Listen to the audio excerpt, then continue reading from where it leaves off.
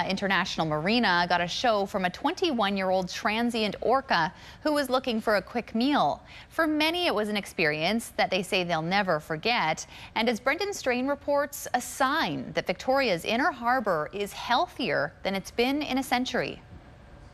There he is there. Pretty sure that was a seal right in front of him. This is video captured Tuesday afternoon on security camera at the Victoria International Marina, showing a transient orca feeding on a harbor seal. He had an appetizer on the way into the harbor. Steve Sinclair was in his office when he heard there was a killer whale in the inner harbor, so he headed down to the dock. And all of a sudden, boom, there, there it was. Killer whale comes around the corner of our dock. On the hunt for a second course, Steve pulled out his phone to capture the moment. Yeah, it was pretty exciting. He's going for the seal. Over the past few years, orcas making their way into Victoria's inner harbor has become more frequent, and that is a good sign. This uh, was a boom yard uh, for a number of different wood-based operations up here, including a, a barrel company. The seabed on this site was covered in around two to three meters of bark mulch, preventing any life from thriving in the area. We did have to remove all that to get back to native marine clays.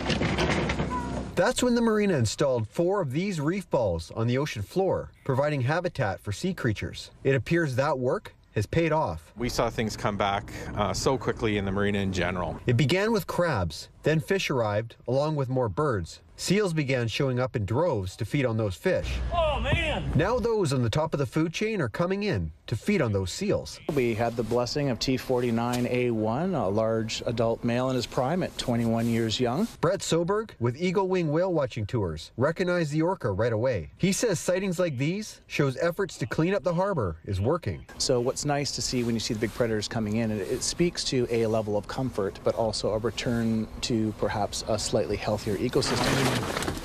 A week from today, this First Nation welcome pole will be installed at the marina. At the base of the pole, in orca. We just brought the pole in at the beginning of this week, and the first time I have ever seen such a thing, an orca shows up um, at our docks just a day after. So I thought that was pretty astounding and, and, and really neat. Coincidence, maybe, but an event that many won't forget soon. Brendan Strain, CTV News, Victoria.